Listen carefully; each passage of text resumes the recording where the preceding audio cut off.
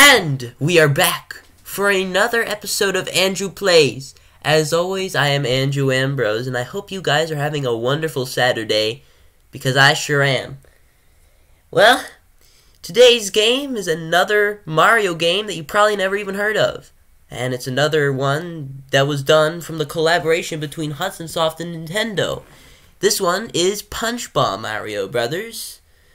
Now, Punchball Mario Brothers um, is a very interesting game because like la- last time we saw Mario Brothers Special, which took the classic um, Mario Brothers arcade game, took some elements from it, but made something completely brand new. But with this new this uh, Punchball game, uh, it's basically just a re- it's just the original Mario Brothers, however, with a twist. Rather than attacking the enemies from uh, stunning the enemies from underneath and then knocking them off like you did in the original, you toss a giant ball at them called the punch ball that will stun them and then you can proceed to knock them off. But otherwise, it's pretty much the same game. It's just that um, the layout of the stage is different, and not only that, but you can't. You have to be uh, running in order to jump. If you're stationary and you hit the button, you'll throw the punch ball, and if you're running and you hit the button, you won't throw it. You'll just jump. So, yeah, it's it's weird, but it it, it works. And uh, that's uh, pretty much it. Um, so yeah, let's uh, let's get this going, shall we? I have my NES controller with the USB um, adapter so I can use it on my computer because what better way to play a classic Nintendo game than with a classic Nintendo controller? Let's get started, boys and girls.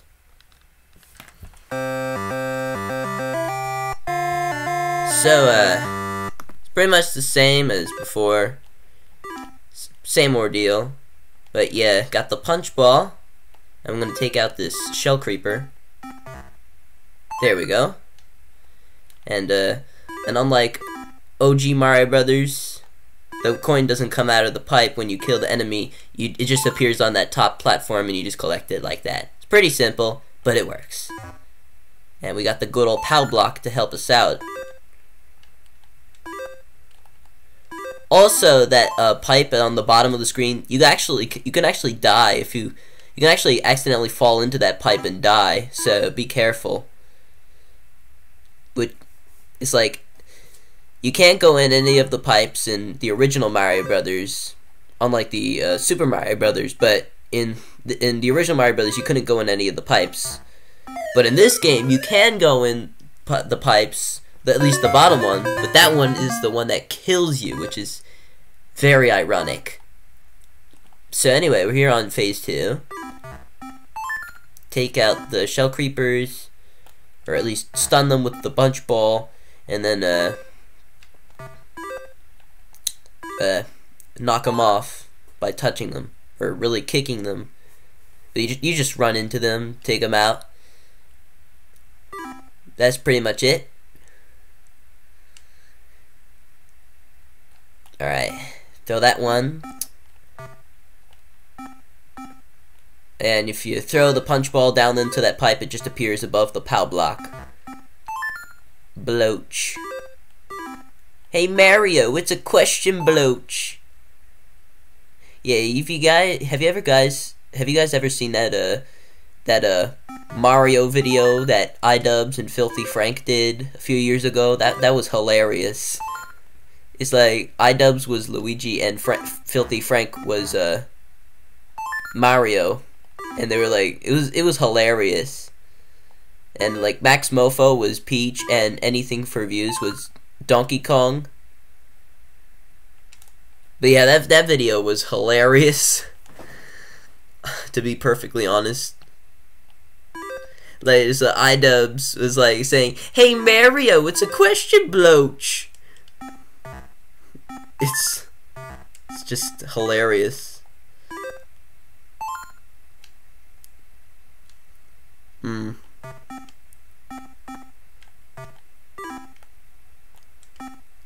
Oh, this little son of a bitch. Ah, Dang it, I missed. Oop. Oop. Oh. Oh, we gotta... I'll get him. Here, I just gotta position myself. Son of a bitch. There we go. You don't screw with me, guys. Ah! The bonus stage. It's actually kind of easy. You just need to get all the coins as they go up and down.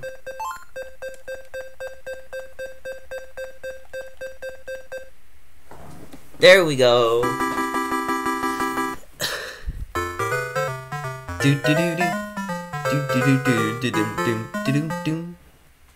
Yeah, the music in this uh, music in this game is actually really good, just like with Mario Brothers Special. They did a, Hudson did a fantastic job with how they handled these Nintendo games for such primitive hardware. I mean, I love the Sharp X1, but I admit it's not as good as other as other uh, systems and computers like the MSX or the Famicom Family Computer or Sega Master System. Those those were much more powerful and could do a lot more if you knew what you were doing. And unfortunately, some companies didn't know what they were doing. Others did, but there were some that didn't. Like, if you lived in Europe and you had an MSX, you were mostly subject, unless you had a lot of Konami games, you were usually subjected to a bunch of crappy ports of ZX Spectrum games. And eh, as we all know, it's never a good it's usually never a good idea to take a game from a inferior platform and put it on a higher system. It's just gonna be crap, and you're just a lazy bastard, honestly. If you're just gonna do that, it's sickening because the MSX uh, can actually do better than a ZX Spectrum, but no, they just subject it to something less. I mean, I like the ZX Spectrum. So it's it's pretty cool, but it's not as powerful as MSX, and you can't just be so lazy as to just take a, a, a Speccy game and put it on MSX. It's not that simple, you guys. But, but, well, at least we can now just play MSX games on emulators. actual good MSX games, at least. Kind of sucks that the United States didn't get the MSX, at least not that I know of. I mean, we got the ColecoVision and there was the Spectravideo, but there was no MS. There were no MSX computers in America, as far as I know. Only in Japan and Europe, and also Brazil, I think. Oh well, I don't think I've seen this before. The the plat the the platforms are moving. That's that's gonna be an all new challenge. That's right. Oops, I didn't mean to do that. Oh! Oh, damn, that was, that's a dirty move. Okay, I don't think I'm gonna get that coin. I'm just gonna play it safe and just kill the enemies.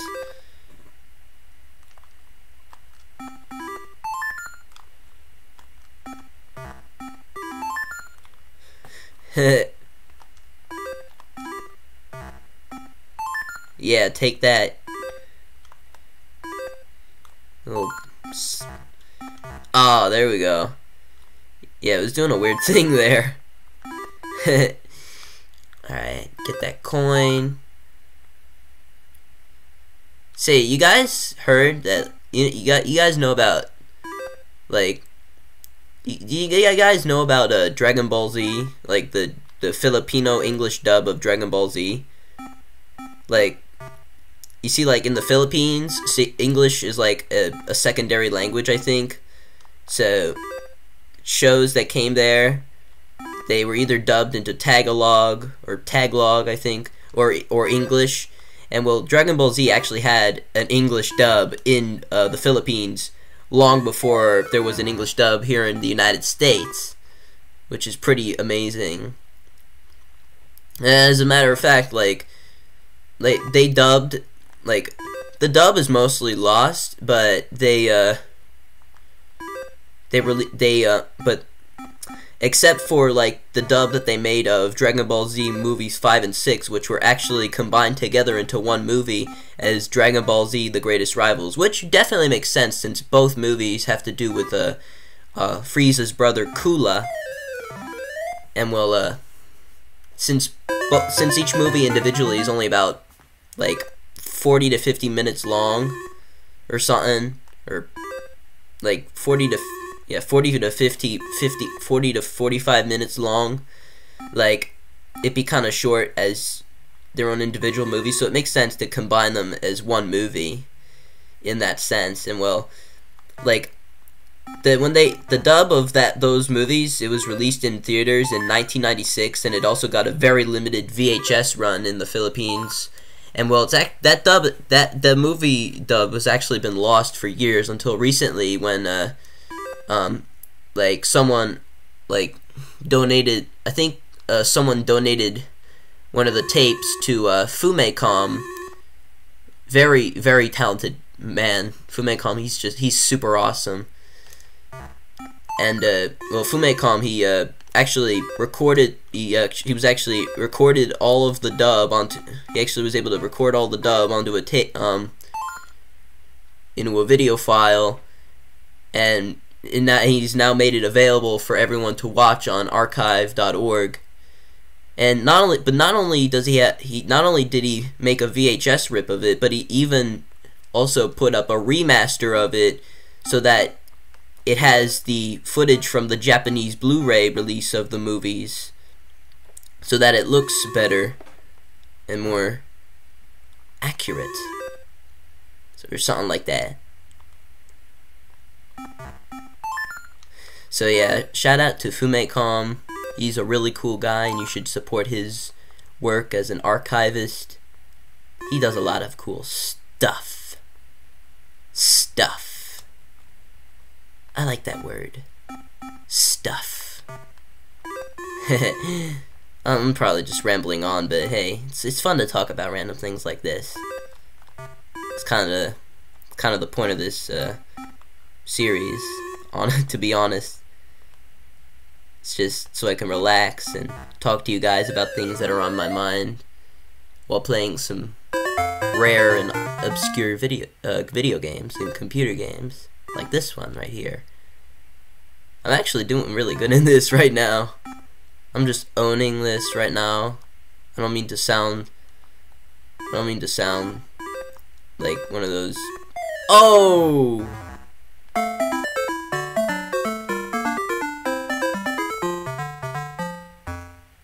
Alright well uh I guess uh I guess that should do it. I did pretty good. Um, so yeah, that was Punchball Mario Brothers. Pretty fun, and well, definitely recommended for any Mario fans out there looking for something, something uh, different from what they're used to, but still very fun. Um, so I hope you enjoyed this episode of Andrew Plays, and hopefully, um, I'll be back for more uh, fun stuff in the future. So I hope you guys are having a a fantastic Saturday, and remember, wash your hands and eat your damn vegetables. This is Andrew Ambrose, and as always, I'll catch you later.